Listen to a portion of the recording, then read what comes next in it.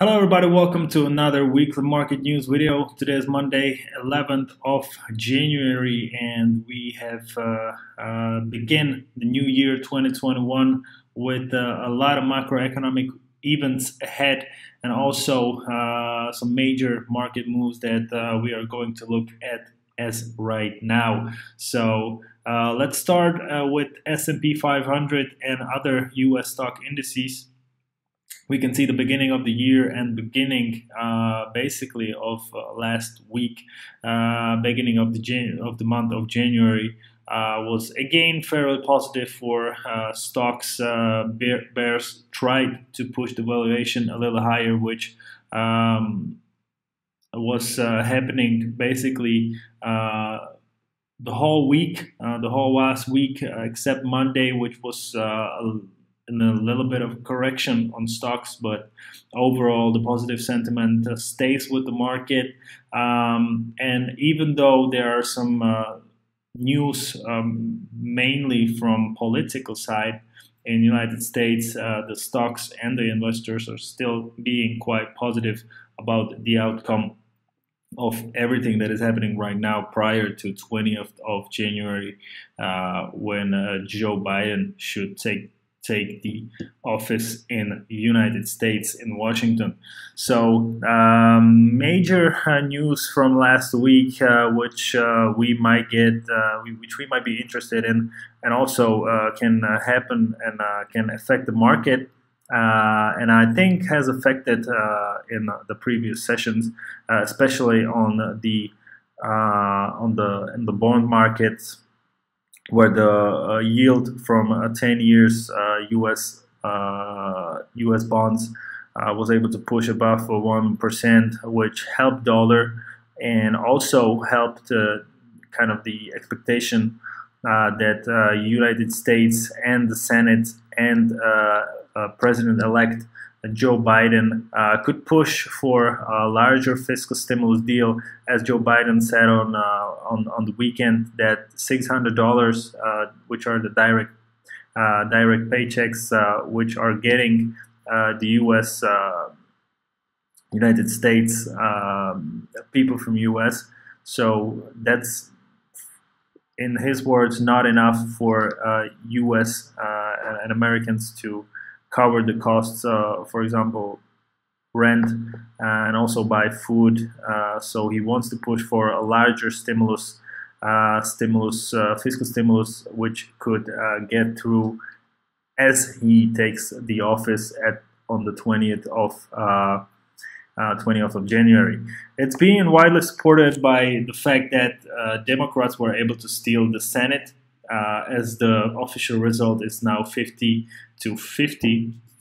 Uh, but the vice president, Vice President Kamala Harris, uh, takes the advantage as the Democrat Democratic Party and um, Senate has now majority of uh, Democratic leaders. Uh, with the president-elect Joe Biden, who, who is also Democrat, uh, we can expect some unorthodox politi- policy changes and um, much easier, uh, much easier, much easier uh, policy implement in implementing, which could push, uh, especially the president. Uh, Joe Biden. So we are expecting a larger stimulus deal. We also might expect some negative uh, things for U.S. Uh, stocks as some corporate tax tax um, and some other uh, regulation changes uh, in the corporate sector, uh, especially with the big tech. But um, as right now, the markets are mainly uh, playing with the uh, expectation of larger stimulus deal, which, like I said, help uh, S&P 500 to push above previous record highs, close above them, uh, like I said, uh, also European indexes uh, were quite positive last week. You can see Monday again. Monday is in terms of a little bit correction on stocks, but um, overall, short term and even medium term, we expect the stocks to go a little bit higher. So that's what's happening on the markets. Uh, stock markets last week, like I said, uh, Senate and uh, Democratic uh, kind of the blue wave, which was going to take uh, take over the legislative legislation in in United States is mainly the the the major news from last week. Uh, also, like I said, it kind of supported U.S. dollar uh, with the rising yields of uh, from U.S. bonds. You can see here USD then uh, below 123, then below 122. Another very important level here is 121, which we expect to hit uh, perhaps this week uh, if the momentum is going to stay with the market. Uh, but right now, you can see we were able to push even through the um, rising channel here and uh, close below. And right now, we keep uh, going down, which is kind of the bearish momentum on the market right now. So we expect any shorts, any more shorts to come here and also the correction was kind of expected here because uh, you can see the market was uh, moving uh, pretty steadily up. So uh, these moves down are um, maybe in lines of our expectation. Uh, situation on other uh, forex currency pairs like GBP USD USD CAD was pretty similar to uh, what is happening on the Euro USD because US dollar was was uh, um, the main engine of the move. So you can see GBP USD also uh, retreated uh, some of its uh, some of its uh, gains previous, and right now you can see a correction here on GBP USD, USD CAD. Like I said, other currency pairs. Um, the same thing, US dollar is taking back some of its losses and is uh, quite uh, quite positive, uh, mainly thanks to the fact of um, very interesting, uh, very interesting moves on uh, on bond market in the United States. So USD JPY also uh, positive. last week was very good for US dollar on these on this pair.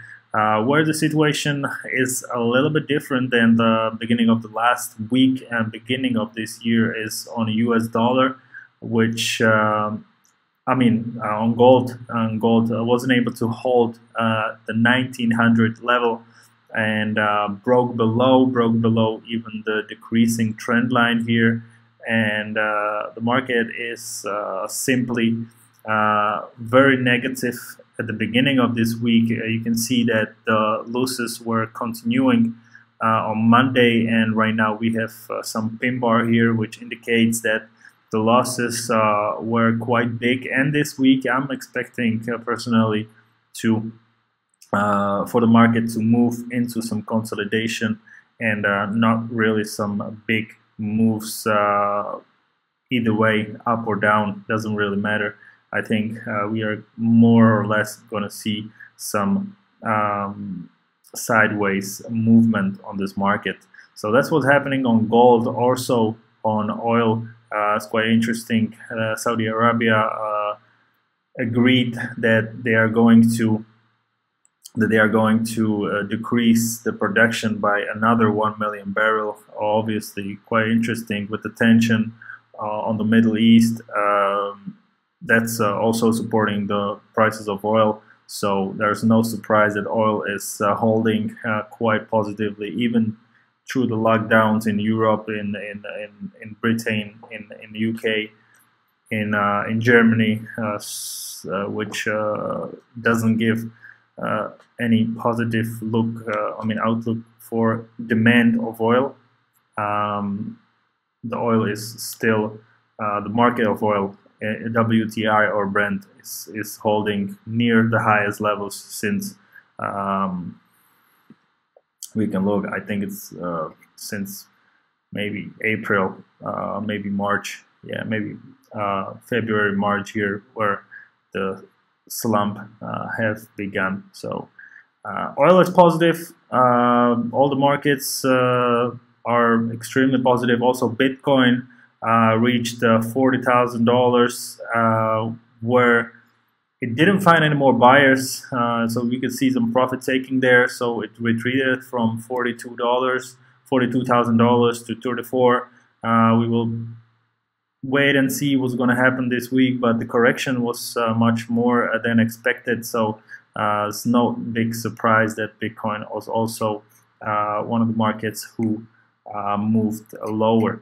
Also, last week uh, we were able to see some uh, job market data from US. Was quite disappointing. The NFP decreased by, I believe, was one for 104,000, um, maybe a little bit more. No, 140,000 uh, loss of um, 100 loss of 140,000 employees. Also, uh, the unemployment stayed at the 6.7 percent. So there's the the employment and the job data uh, were a little bit disappointing, but that's kind of what market is anticipating. They expect that the fiscal stimulus is going to support these uh, this unemployment rate in uh, decreasing. So that's uh, also one thing that markets are looking past through and uh, can also play some role in the coming months. Uh, if you look at the this week and what market economic data we have ahead, Monday there is nothing that we expect and uh, could affect the markets. On Tuesday, Tuesday though we have job job opening, we have last day report, uh, we have some short-term energy energy energy outlook from EAI but nothing really that interesting. On Wednesday, uh, the speech of Christine Lagarde, uh, CPI data from US, uh, and obviously oil stock exchange, but nothing, again, uh, extremely important. Uh, meeting uh, minutes from ECB will be released on Thursday afternoon, as well as jobless claims and uh, speech from Fed uh, Chair Jeremy Powell, who's going to give some outlook for maybe for for the fiscal stimulus. He's going to uh, give some opinion on that, and also on the job data, uh, which were were released last week. On Friday, though, we have uh, decision of Korean Central Bank uh, manufacturing production uh, from UK, but really this week uh, should not be affected as much as from the macroeconomic side, as we do not expect anything except Friday retail sales from US. But uh, at this point, can give us some indication, but shouldn't really affect the market uh, too much. So that will be it for the market economic uh, outlook. Also, if we look at the markets. Um, that will be probably it for today's video. I uh, hope you guys enjoyed. If you have any comments, leave it down the uh, comment section below the video on YouTube, and I will see you next week.